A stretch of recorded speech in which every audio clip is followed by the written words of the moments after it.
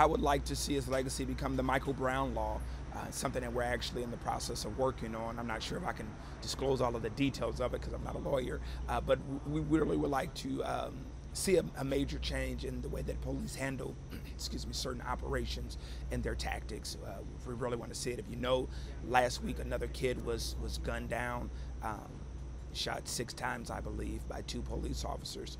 Um, here in St. Louis. So it's, it's becoming an epidemic. It's not just here in St. Louis, it's not just a Midwest thing, uh, but it is a nationwide thing. And so we want to see the Mike Brown law go in, in, into tag all over the country.